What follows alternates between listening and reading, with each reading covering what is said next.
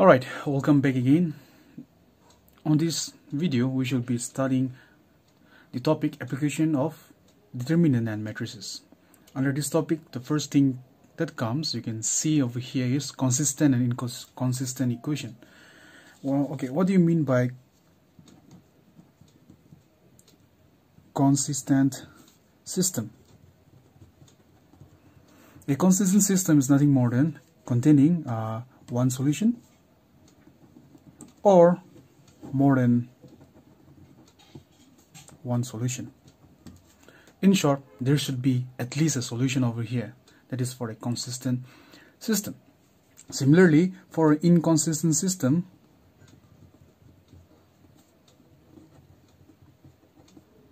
an equation should have no solution. To remember, for a constant system, there should be two answers. It may be one solution or it may be more than one solution. And for inconsistent system, the answer lies that there should be no solution. All right. Uh, then the next topic uh, that comes under here is nothing more than solution of the topic that will be here. It will be solution of system of linear equation using inverse of matrix. Remember, we're going to use solution of system of linear equation using inverse of matrix. Alright, now consider consider the system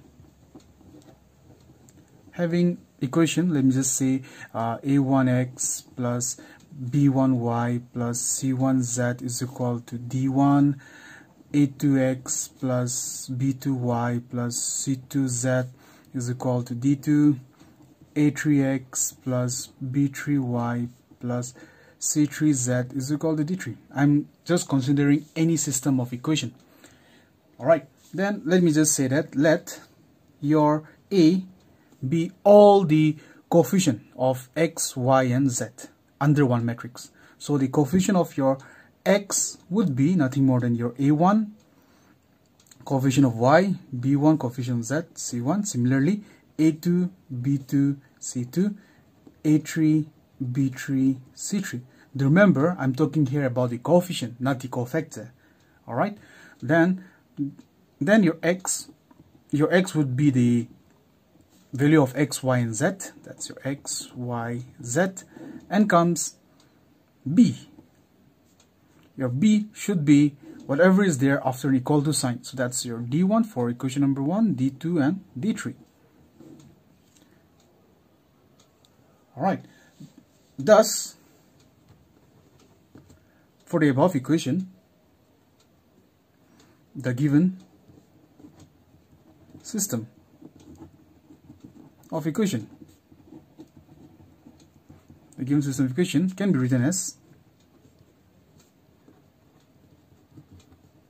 it can be written as nothing more than this one a1 b1 c1 a2 b2 c2 a3 b3 c3 and then x y z is equal to d1, d2, d3. That is, this whole thing is nothing more than your a, this whole thing is nothing more than your x, and this whole thing is nothing more than your b. If you solve this one using uh, multiplication matrix, you should be getting nothing more than this one, the whole thing. In, all right, so that is, if you solve this one, you'll be getting this one. Okay as we got ax is equal to b so following cases arises. There will be three cases. The first case case number one. Your case number one would be nothing more than when determinant of a not equal to zero. So in this case as we know from the definition of an inverse that if determinant of a is not equal to zero that means your a inverse exist.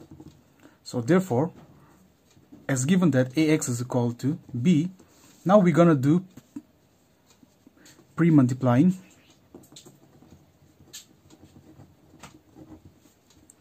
A inverse on both sides. We get so if we pre-multiply a inverse on both sides we will be getting nothing more than this one. A inverse ax is equal to a inverse b.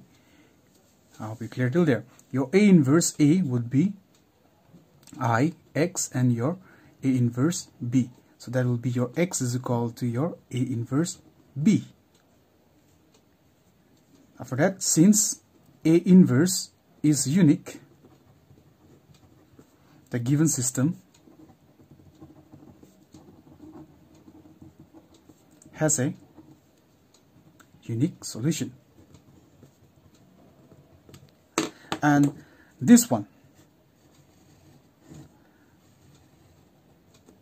This one that's your x is equal to a inverse b. This is the formula of finding the value of x y and z which we will be doing later on the equation. That's your problem okay? So just go for this one that's the case number one. So thus I can say that thus uh, when the determinant of a not equal to 0 then the given system is consistent and has unique solution that's all about your case number. One why this is why this system of equation is consistent? Because it will contain at least one or more than one solution. I hope you're clear till there. So that's for was for your case number one. Let me go back to your case number two. Your case number two uh, it's it will be when see for the case number one we did when your determinant of a not equal to zero. So let me go with the determinant of a equal to 0 and adjoint of A into B not equal to 0. So in this case, the given system is consistent and sorry is inconsistent. Why inconsistent? Because adjoint of a into b is not equal to 0 so that's why it's inconsistent and it has no solution. Alright similarly case number 3 your case number 3 would be when determinant of a is equal to 0 and adjoint of a b is also equal to 0. In this case, the given system has infinitely many solution. Alright, so there's all about your case number 1, 2 and 3. Alright, uh, before I go any further, your main focus would be on case number one. Okay, your case number one, your main focus would be over here. This one. Why? Because this is the method. I would say this method of solving is known as is known as nothing more than your matrix method.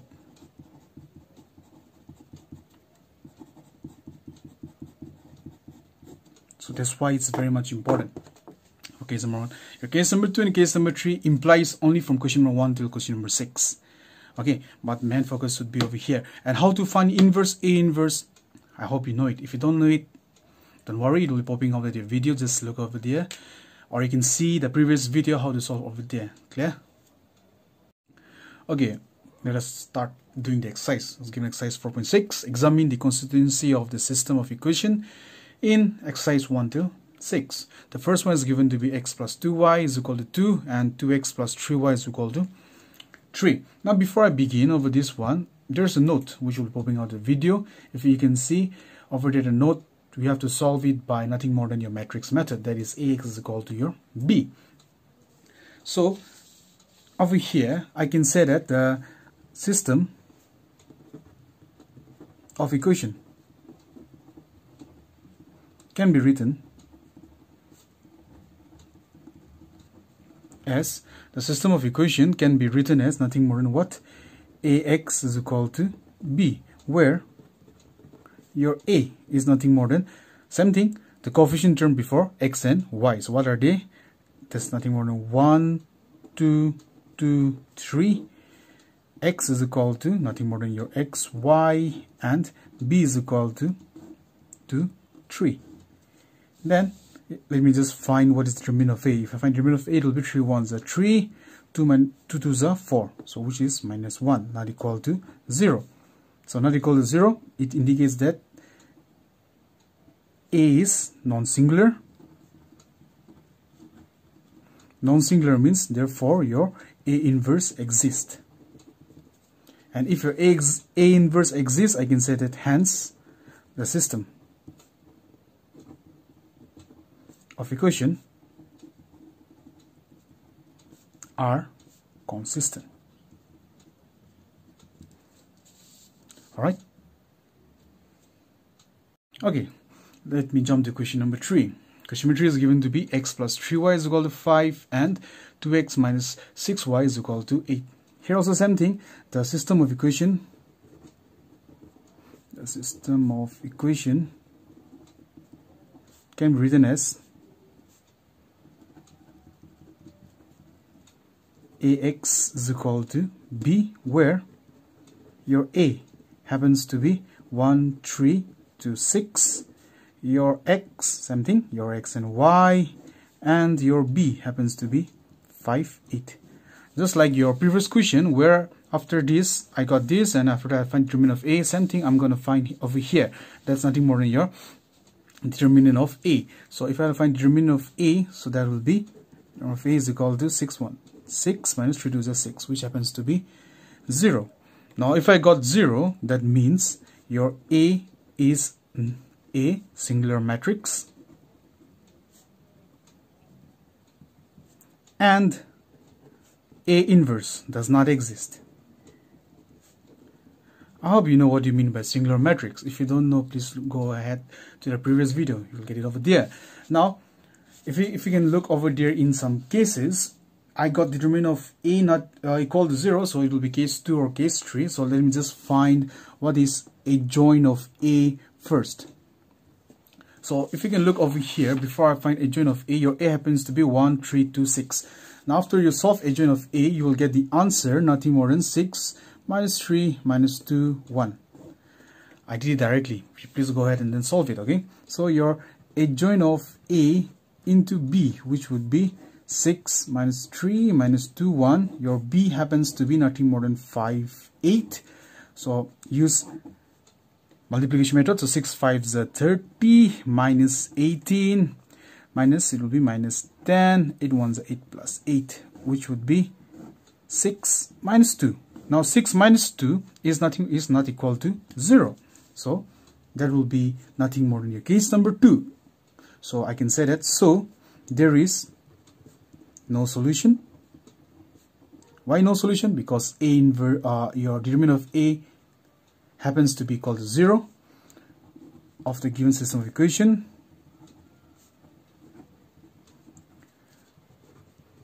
Of the given system of equation. So hence the system of equation are nothing more than your inconsistent. Remember it's inconsistent okay why inconsistent? Because we got no solution and I got adjoint of A into B not equal to 0. Alright, the next question is given that solve system of linear equation using matrix method in exercise 6 till 14. Uh, so I'm going to do question number 7 using nothing more than your matrix method. Okay, so I can say that here uh, a your a is whatever is there before your x and y. So that will be 5 2 7 3 and comes your x. Your x nothing more than your x y. And comes your b. Your b is 4 and 5 before we do the matrix method we just have to prove whether a inverse exists or not. So in order to find whether a inverse exists i have to find determinant of a first. The determinant of a would be 5 3 is uh, 15 minus 14 which happens to be 1 not equal to 0 not equal to 0 it means that that is your a is non-singular. If non-singular that means I can say that I can say your A inverse exists so if your A inverse exists then I have to find adjoint of A in order to find adjoint of A I have to find first what is A11 your A11 would be 3 your A12 would be minus 7 your A21 would be minus 2 and your A22 uh, I think would be 5 so therefore your adjoint of A would be nothing more than A11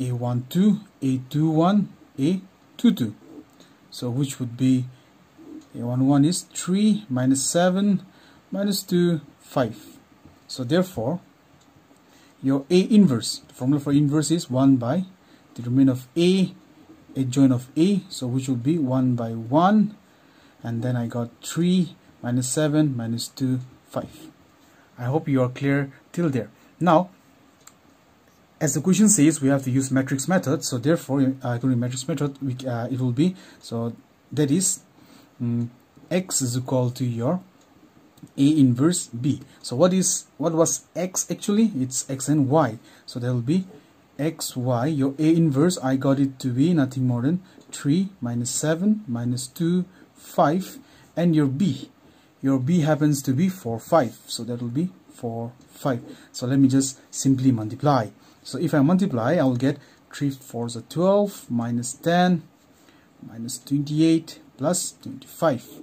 So which would be 2 and then minus 3.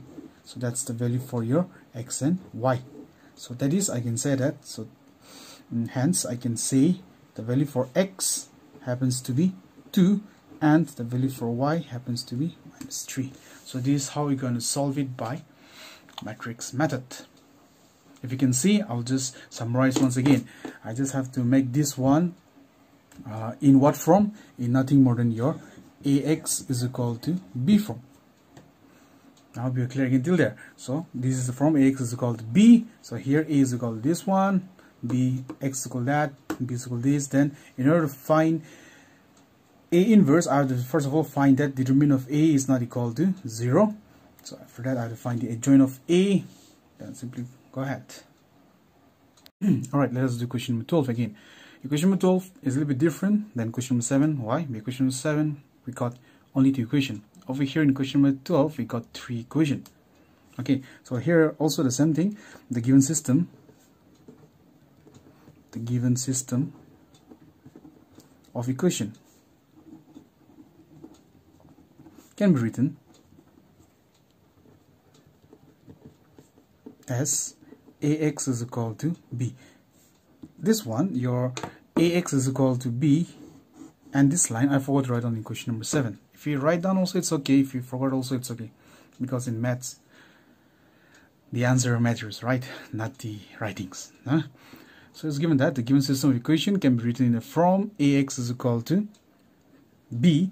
So where your a your a happens to be the coefficient term before x so that will be 1 minus 1 1 2 1 minus 3 1 1 1 then your x I got one more extra term that's x, y, and z.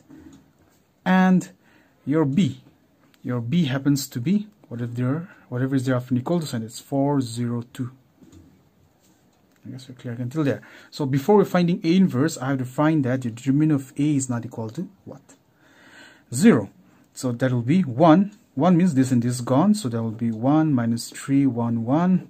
Then minus, minus 1. I'm taking this 3 again, the first row. So that will be 2 minus 3 1 1 then lastly plus 1 so which would be uh, 2 1 1 1 so which would be nothing more than 1 1 plus 3 plus 1 2 plus 3 plus 1 again 2 minus 1 so which would be uh, 4 plus 5 plus 1 which happens to be 10 10 means not equal to 0 so that is your a is non-singular non-singular and I can say that your A inverse exists. Now, after I finish over here, let me just put this aside for a time being, then I have to find that uh, your adjoint of A. So in order to find adjoint of A, let me just go on with the first A11. Your A11, if you look, I have to remove the first row and the first column. So if I solve it, I'll get the answer 4. Then comes your A12.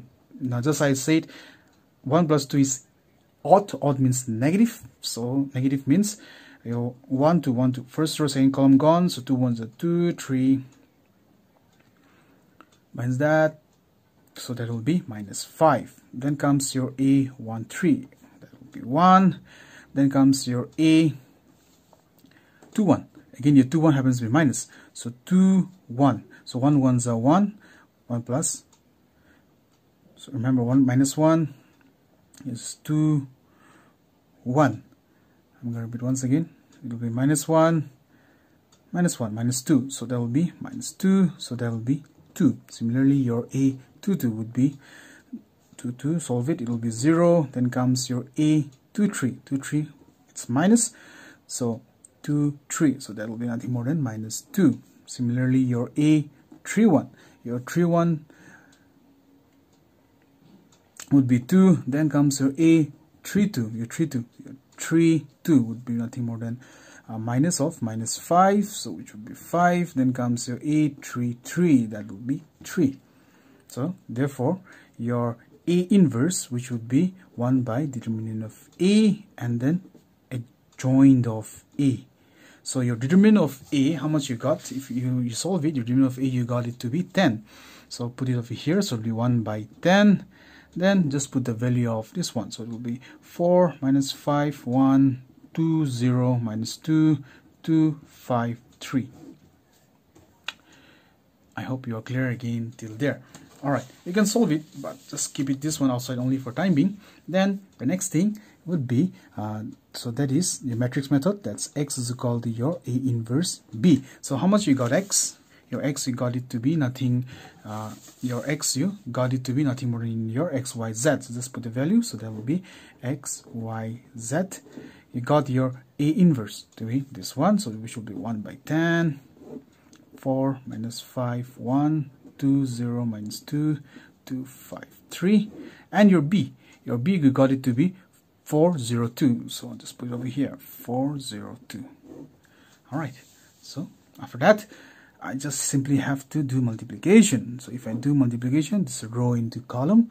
So I'll get the answer 16 plus 0 plus 4 minus 20 plus 0 plus 10, 4 plus 0 plus 6. I guess we're. So which would be 1 by 10, 16 plus 4 is 20, minus 10, 10. Now just put the value of this one inside the matrix in every column or in every row and column same thing so if you put it you'll get the answer nothing more than 2 minus 1 1 so that's the value for your x y z so therefore your x would be 2 y would be minus 1 z would be 1 I guess you're clear. You can just look over here. Okay let me just do it over here. Just look. This is how we're going to find first of all the a inverse. It should be non-singular. Then after you find your a inverse you have to find what? You have to find your adjoint of a which is how you can solve it the adjoint of a then you got it. That's how you got the answer